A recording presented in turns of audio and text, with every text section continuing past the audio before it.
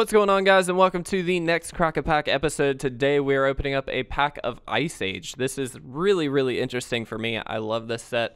Uh, sitting at the top of the value train here, we've got Altar of Bone at $15. Uh, Illusion of Grandeur is sitting right at 12 and then probably the card most people know from this set, Necropotence, is sitting at 7 uh, So there's not an amazing potential for value, but there is some decent value. I will not necessarily know what the rare is, so I do apologize if I miss it. Uh, but as always, we are going to go through every card and talk about this as if this is a pack one, pick one scenario. Uh, so we're actually going to determine what our draft pick would be uh, if we were drafting this set. I will say, obviously, I do not know this set super well. Uh, and so if I get anything wrong, I do apologize. If I pick a card that you feel like is just stupid to pick, then roast me in the comments. Go for it, guys. But um, we will do our best. So our first card here is Phantasmal Mount. It is a 1-1 for 1 and a blue. It has flying. Uh, you can tap it and target creature you control, which has toughness less than 3, gains flying, and gets plus 1 plus 1 until end of turn. Other effects may later be used to increase that creature's toughness beyond 3. If Phantasmal Mount leaves the battle battlefield uh, before end of turn, bury the creature. If that creature leaves play before the end of the turn, bury uh, Phantasmal Mount. This is an interesting card. Uh, I love the wording, by the way, on these old sets. Uh, I don't I mean, it's a 1-1 flyer for 2 that uh, can buff other stuff, so I guess it's not bad. Uh, we'll we'll put it over here for now. I really don't know for sure. Uh, Ashen Ghoul is a 3-1 for 4. Uh, it can it can attack the turn it comes into play, so it basically has haste. Uh, you can pay 1 black and return it to play under your control. Use this ability only at the end of your upkeep, and only if it is in your graveyard with at least 3 other creatures above it very specific. um, but I actually like this card. It's Recursion. Uh, it's a 3-1 for 4, which isn't amazing, honestly. It's pretty bad, but this is an older set, so uh, it's not too surprising. It can attack as soon as it comes into play. The haste actually helps. Uh, and the fact that you recur it every once in a while is fantastic. So I do actually kind of like that card. Uh, Sunstone, pay 2 and sacrifice a snow-covered land to have all creatures deal no damage in combat this turn. Uh, this is just a repeatable fog effect. Uh, the art is beautiful, but I don't think this is good by any means. Uh, Illusions of Grandeur. There we go. This is our rare. Uh, so three and a blue for an enchantment. It has a cumulative upkeep cost of two. Uh, when it comes into play, gain 20 life.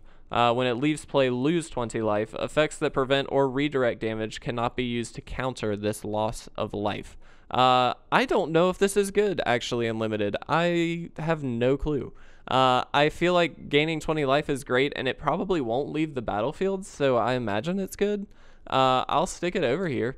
I, I mean, I don't know for sure. Correct me in the comments, obviously, but I feel like that's actually not bad. Pay for and just gain. Well, it does cumulative upkeep. That's a lot, but it is going to be late game. Uh, Legions of Lim Duel is a 2 3 for 3, and it has snow covered swamp walk. Uh, if you don't know what Swamp Walk is or any land walking ability, uh, basically it says if the opponent controls whatever land, in this case a snow covered swamp, uh, this card can't be blocked by that opponent. And so uh, basically, snow covered lands were a big thing in this set. If your opponent happened to have one, uh, then that means, er, excuse me, a swamp, uh, a snow covered swamp, then that means basically they just can't block this creature. I don't think this is amazing. It's probably okay filler, but generally not that great.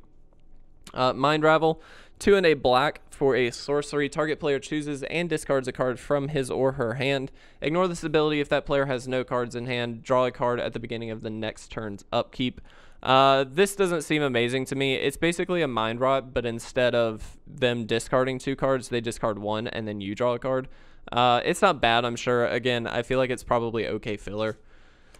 Uh, Shambling Strider is a 5-5 for 6, uh, and you can pay one red and one green to give it plus one, pl minus one, excuse me, until end of turn. Uh, this actually seems like a decent finisher. Uh, again, the creatures generally were a little bit more underpowered in this age of Magic, um, and so a 5-5 for 6 is fine. Uh, and the fact that you can buff it is actually good. The only thing I don't like, uh, especially in first picking this, would be that uh, it does have red and green to actually buff it. So you're kind of putting yourself in two colors. I feel like you don't necessarily have to use it for the two colors, but uh, it's definitely a powerful card. I'm going to keep it here for now. Uh, Armor of Faith is one white for an enchant creature. Target creature gets plus one plus one. You can pay one white, and creature uh, Armor of Faith enchants gets plus one plus zero plus one. Excuse me until end of turn.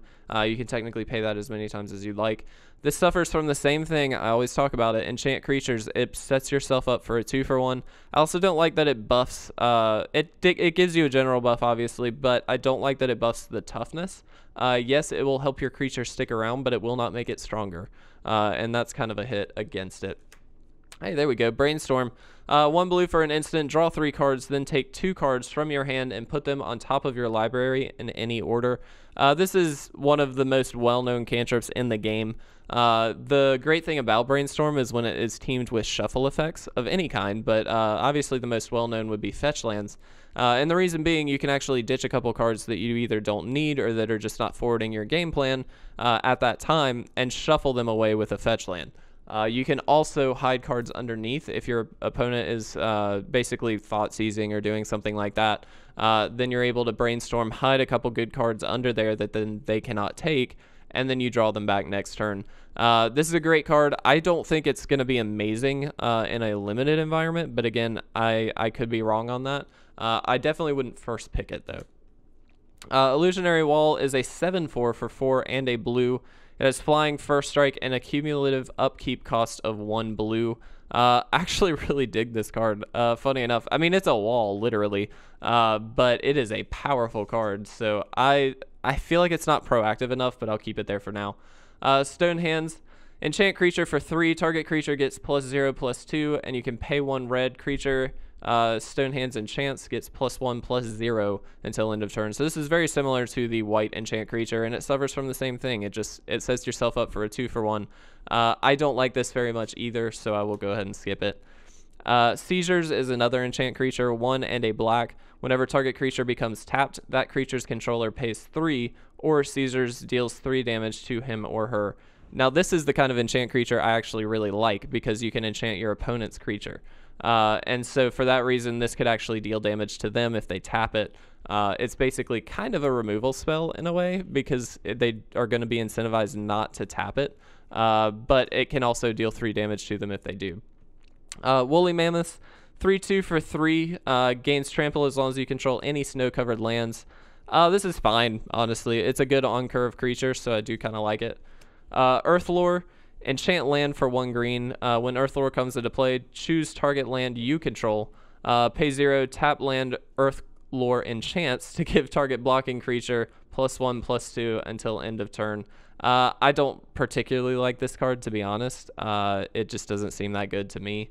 Uh, Cooperation is the last card. Target creature gains Banding, Enchanted creature for two and a white. This is obviously just as bad as any of the other enchant creatures. Uh, so here, I don't know what to pick actually. I weirdly really like Illusions of Grandeur, but I think it's a little bit too pricey long term with the cumulative upkeep. Uh, I think it might actually either be the Ashen Ghoul or the Shambling Strider, excuse me. Uh, this card, Seizures, is actually really good too, though. Uh, I feel like that could be awesome. Illusionary Wall is fine, but again, the cumulative upkeep, and it's just not very proactive. Uh, so I think it's kind of between these three. I could see going any way, uh, but I think I would probably go with the Strider just because uh, it makes a good late game bomb, and that's always a priority in my mind. So that would be my pick. Again, roast me in the comments if you feel like I am off base with that. But guys, thank you so much for watching. If you enjoyed it, please make sure to leave a like and a comment down below. And as always, make sure to subscribe to stay up to date on all of our content that we have coming at you all the time. So with that, I'm going to get out of here. Thank you so much for watching, guys. I will see you in the next Crack a Pack video.